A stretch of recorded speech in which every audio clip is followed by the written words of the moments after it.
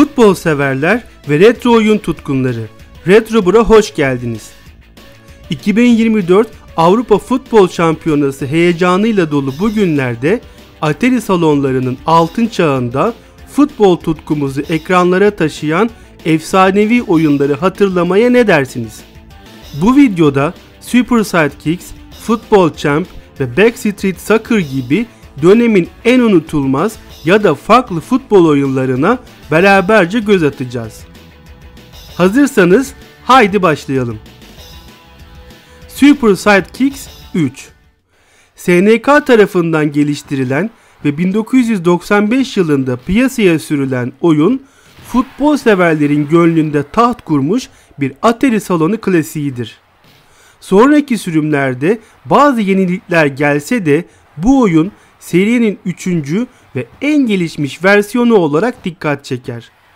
Super Sidekicks 3 önceki oyunlara kıyasla daha geniş takım seçenekleri, daha gelişmiş grafikler ve daha gerçekçi oyun dinamikleri sunar. Gerçekçi grafikler demişken Super Sidekicks 3 ayrıca ultra uyduruk takım kadrolarıyla da ün salmış bir oyundur. Örnek vermek gerekirse Türkiye'nin kadrosunda Fatkan, Tagi ve Rida gibi isimler bulunur. Ayrıca Super Sidekicks 3 tam bir Atari salonu oyunudur. Örneğin bir oyuncuya faal yapıldığında oyuncu ya light ya da heavy damage alıp sakatlanır. Ya da psych up ya da super psych up alıp tabiri caizse ipini koparmış dana gibi koşmaya başlar. Son olarak oyunda bulunan şans özelliği sayesinde atak sırasında ceza sahasına yaklaştığımızda bir nişangahla hedef alarak kaleyi şut atmanın heyecanı da paha biçilmezdir. Futbol Champ 1990 yılında Taito tarafından geliştirilen ve futbol oyunları arasında kendine has bir yer edinen bir Atari salonu klasiğidir. Futbol Champ dönemin teknolojisine göre oldukça etkileyici grafikler ve animasyonlar sunar. Futbol Champ'i diğer futbol oyunlarından ayıran en belirgin özelliklerinden biri ise oyunun içerdiği mizahi unsurlar ve sıra dışı hareketlerdir. Futbolcular rakiplerine karşı tekme, yumruk veya uçan diz atabilir ve hatta hakem biz bu hareketleri yaparken yakınlarımızdaysa o da nesibini alabilir. Bu nedenle Futbol Champ hakem dövebildiğimiz bir oyun olarak hafızalara kazınmıştır. Ayrıca biz rakibimize bu tekmeleri savururken hakem yeterince uzaktaysa bırakın kart görmeyi faal bile almayız. Futbol Champ bir de maçın son 30 saniyesine berabere ya da geride girersek sadece özel oyuncumuzla yapabildiğimiz süper şutla ün salmıştır. Bu durumda topu süper oyuncumuzla buluşturmayı başarabilirsek kaleciyi ağları delerek tribünlere doğru fırlattığımız ve golle sonuçlanan bir şut atabiliriz. Virtua Striker 2 Sega tarafından geliştirilmiş ve ilki 1997 yılında piyasaya sürülmüştür. Virtua Striker 2 versiyon 1998 ve Virtua Striker 2 versiyon 2000 olmak üzere sonradan iki devam oyunu daha çıkmıştır. Oyunlar 3 boyutlu grafiklerle ve gerçekçi oynanış mekanikleriyle dönemin en dikkat çekici futbol oyunları arasında yer almıştır. O dönemde Atari salonlarındaki neredeyse tüm futbol oyunları 2 boyutlu grafiklere sahipken Virtua Striker 2 bize 3 boyutlu grafiklere sahip bir oyun deneyimi sunmuştur.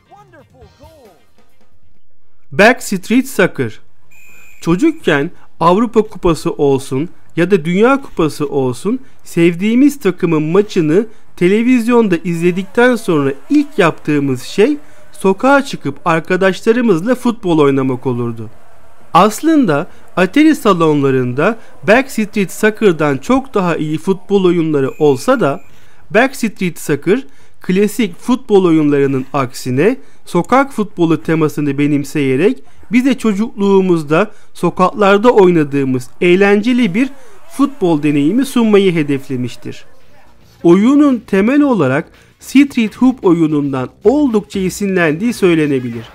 Hatta Street Hoop'un futbollusu desek yanlış olmaz. Backstreet Soccer'da oyuncular 5 kişilik takımlarla mücadele eder ve sokak ortamında geçen hızlı tempolu maçlarda rakiplerimize karşı üstünlük sağlamaya çalışırız. Duvarları pas vermek için kullanabilir ve dar alanlarda yeteneklerimizi sergileyebiliriz. Oyun sokak futbolunun kalabalık ve enerjik atmosferini oldukça başarılı bir şekilde yansıtmaktadır. Tecmo World Cup 98 Namı diğer Shigalı zamanın en iyi Atari salonu oyunları arasındadır ve çok iyi kontrollere ve hızlı tempoya sahip oynanışıyla dikkat çekmiştir.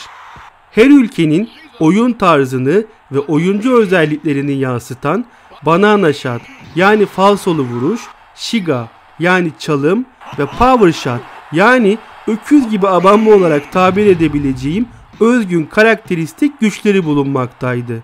Ve bu da oyunun Atari salonu deneyimini oldukça arttırmaktaydı.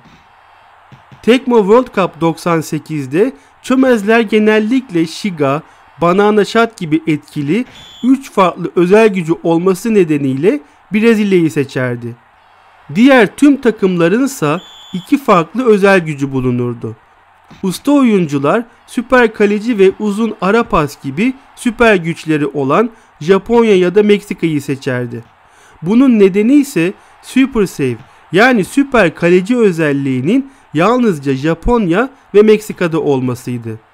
Ayrıca 7 maçlık turnuvanın 3. ve 6. maçlarında yendiğimiz takımın bir özel hareketini ek olarak kendi takımımıza alabiliyorduk.